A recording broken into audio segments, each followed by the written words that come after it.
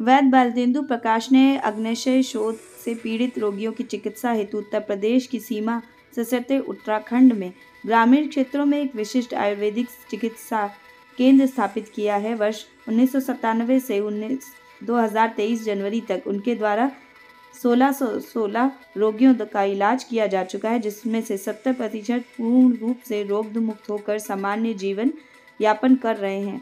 इसी विषय पर बालतेंदु ने लखनऊ के यूपी प्रेस क्लब में एक प्रेस कॉन्फ्रेंस की। मैं एक वैद्य हूँ। कल जो यहाँ पर एक इन्वेस्टर्स मीट हुई थी आयुष विभाग की, उसमें उत्तर प्रदेश शासन ने मुझे आमंत्रित किया था। मैं फ़िलहाल वैसे तो मैं मेरठ का रहने वाला हूँ और पिछले चार साल से मैं रुदपुर में हूँ। पहले तीस साल में देहरादून रहा हूँ तीस साल मेरठ हूँ। मेरे पिताजी वैद्य थे। मैं अपनी दवा बना के प्रैक्टिस करता हूँ और खासियत है कि मैं अपने आंकड़े बनाता हूँ। और इसी आंकड़े में मैंने 97 में भारत सरकार से प्रोजेक्ट लिया था, जिसमें 11 में से 11 ब्लड कैंसर मैंने ठीक किए थे इंडिया इंस्टीट्यूट में जिसके लिए मुझे उन्नीस सौ निन्यानवे में पद्मश्री से सम्मानित किया गया। तो ये मेरा छोटा सा परिचय है, पर मैं अपनी चिकित्सा अपनी अवधि बना के रस करता हूँ। और आज की जो मेरी प्रेस कॉन्फ्रेंस है, इसका उद्देश्य पेनकिटाइटिस नामक रोग से आप लोगों को अवैध कराना। क्योंकि पेनकिटाइटिस के बारे में ज़्यादा जानकारी पब्लिक में नहीं है। ये एक बीमारी है जो पेट में अचानक दर्द होता है। बैक में ज़्यादा है साथ उल्टी होता है। नाइन्टी परसेंट में ऐसे ही होता है, पर अचानक वज़न कम होना या सब कुछ करने के बाद भी अगर शुगर काबू में नहीं हो रही है, तब डॉक्टर लोग इसकी जाँच करके पेट के डॉक्टर इसको पेनकिटाइटिस बोलते हैं। और उसके बाद शुरू होती है एक ज़िंदगी जिसमें दूध नहीं, पनीर नहीं, घी नहीं, मांस नहीं, तेल नहीं और हुआ खाना। और कई लोग तो मेरे पास ऐसे हैं जो चार चार साल से फिर खिचड़ी खा रहे थे। और उसके साथ एंजाइम्स पर बीमारी रुकती नहीं है, बढ़ती जाती है। और अपने आंकड़ों के हिसाब से मैं बता सकता हूँ कि 92 परसेंट लोग हिंदुस्तान में दस साल के होते इससे मर जाते हैं और जो बचते हैं उनकी भी ज़िंदगी कोई अच्छी नहीं होती। तो ये जो दवा मेरे पिताजी ने ईजाद की थी, मैंने इसका जो आंकड़े इकट्ठे करने शुरू किए नाइन्टी सेवन से अब तक, मैंने देखा है कि सत्तर फ़ीसदी लोग इससे पूरी तरह मुक्त हो चुके हैं और वो पहले दिन से ही घी, दूध, मलाई सब खाने लगते हैं। मैं इसका इलाज करता हूँ और इसके ऊपर हमने साइंटिफिक स्टडी की है, जैसे इंडियन इंस्टीट्यूट ऑफ़ साइंस है बेंगलोर में। ये पारा तांबा गंधक का होता क्या है तो पता चला तीन साल में इसमें धातु खत्म होकर खनिज बन जाता है। चूहों पे इसके ऊपर टॉक्सिसिटी स्टडी जो मानक है वो की गया, उसमें सेफ़ है। और चूहों पे पेनकेटाइटिस पैदा करके दो स्टडी में देखा गया कि पेनकेटाइटिस को बदल दिया अमेरिका के हवाई द्वीप पे 2019 में एक मीटिंग हुई थी, जापान पेनक्रिया सोसाइटी और अमेरिकन पेनक्रेटिक एसोसिएशन की, जहाँ पर हम अपने शोध पत्र को प्रस्तुत कर चुके हैं। मैं समय समय पर अपने अनुभवों को एक पुस्तक के तौर पर देता रहता हूँ और इस पुस्तक की खासियत यह है कि इस पुस्तक का जो प्रीफेस है, वो लिखने वाले कोई नहीं, डॉक्टर वी एम पटोल थे, जो देश के डीजे रह चुके हैं आई तो मेरा उद्देश्य है कि हम अगर इस दवा को साइंटिफिकली डेवलप करेंगे तो शायद हम औषधि के क्षेत्र में भारत को नोबल प्राइज ला सकते हैं, क्योंकि कॉपर के बारे में किसी में नहीं है।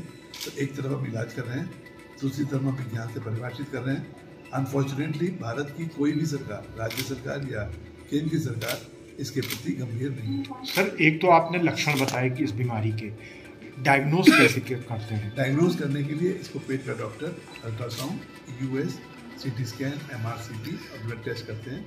उसी से इसका पता चलता है। जी।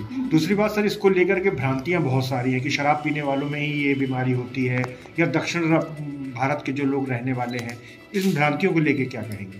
जी, वो मेरे ख्याल से एक छोटी सी स्टडी लोगों ने आगे नहीं किया क्योंकि भारत की जो बॉडी है रिसर्च बॉडी उन्होंने इसके कोई आंकड़े इकट्ठे नहीं किए परंतु हम हाथ कंगन को आरती किया, पढ़े लिखे को फाड़ती किया, मेरे पास जो पिछले 97 से अभी तक जो मरीज़ आए हैं, उसमें सबसे ज़्यादा है, सोलह सौ मरीजों में से दो सौ उनहत्तर मरीज़ दो सौ उनासी मरीज़। यूपी के हैं, उसके बाद महाराष्ट्र के हैं, उसके बाद दिल्ली के हैं। कमोबेश यही आंकड़े पिछले दस साल से आते जा रहे हैं। और तो पिछहत्तर फ़ीसदी लोग ऐसे हैं जिन्होंने कभी शराब पी नहीं है। उन्नीस से पैंतालीस वर्ष की आयु में सबसे ज़्यादा है। और परंतु जो लोग रात को देर तक जगते हैं, सुबह नाश्ता नहीं करते हैं, खाने में प्रोटीन की कमी है, खनिज तत्वों की कमी है, दोबारा गर्म किया हुआ खाना खाते हैं, उनमें बीमारी ज़्यादा देखने को मिल रही है। तो मुझे कहने में कोई संकोच नहीं है। कि भारत में होने वाली ये बीमारी अनियमित खान पान अनियमित रहन सहन की वजह से है और इसके ऊपर जितनी जागरूकता होगी होगी क्योंकि बीमारी शरीर को तोड़ती है परिवार कितना खर्च इसमें आता है और कितना समय लगता है। देखिए ये ये बीमारी जब मेरे पास मरीज़ आते हैं तो कई बार पानी नहीं पी पाते उनका घी दूध बंद होता है। तो हम 21 दिन के लिए मरीज़ को अपनी देख रेख में खिलाते हैं क्योंकि दवा जब मलाई से बोलते हैं तो डॉक्टर मरीज़ घबरा जाता है कि डॉक्टर ने तो दूध भी मना किया हुआ तो मलाई क्यों दे रहे तो 21 दिन हम उनको रुदपुर में हमारा देहात क्षेत्र में ही है यूपी के बॉर्डर पर। वहाँ पर मरीज़ को रखते हैं। इक्कीस दिन तक उनका खान पान रहन सहन सब होता है उसके बाद वो एक साल तक ये टोटल इलाज चलता है। इस इलाज में जो आज की करंट वैल्यू करीब पौने चार लाख रुपया है, जिसमें हम खाना, पीना, रहना, दवा सब है, और हर मरीज़ के साथ एक अटेंडेंट ज़रूरी है, क्योंकि आयुर्वेद की चिकित्सा में वैद्य, औषधि, रोगी के साथ एक परिचालक भी ज़रूरी है। तो एक अच्छा परिचालक अगर होता है तो इससे ठीक होने में अच्छा ही रहती है। रुद्रपुर में कहाँ पर है सर ये? ये रुद्रपुर उधम सिंह नगर की एक तहसील है गदरपुर। और गदरपुर में एक गाँव है रतनपुर जो यूपी बॉर्डर से डेढ़ घंटे डेढ़ किलोमीटर पे है। मैं वहाँ पर जी, जो लोग इस वीडियो को देख रहे हैं इस खबर को देख रहे हैं वो आप तक कैसे पहुँच सकते हैं कैसे कांटेक्ट कर सकते हैं? हमारे पास एक नंबर है nine seven five eight five zero double nine seven three इस पर ये लोग अपनी रिपोर्ट भेजते हैं। रिपोर्ट देखने के बाद हम असेस करते हैं कि उनको बीमारी है कि नहीं है अगर उनकी बीमारी पुष्टि है तब उनको आने को बात करते हैं। अदरवाइज़ यूट्यूब फेसबुक जितने भी मरीज़ आते हैं क्योंकि हमारे मरीज़ लगातार अपने अनुभव यूट्यूब पर फेसबुक पर डालते रहते हैं। आप भी जी करके एक प्रोग्राम है जिसमें अभी तक पचास लोग अपने अनुभव वीकली बेसिस पे देते रहते हैं फोर्थ नाइटली कुमार गंगवार है और बेसिकली तो मैं बरेली को बिलोंग करता हूँ लेकिन पिछले दस सालों से लखनऊ में ही रहता हूँ। अपना बिज़नेस है यहाँ।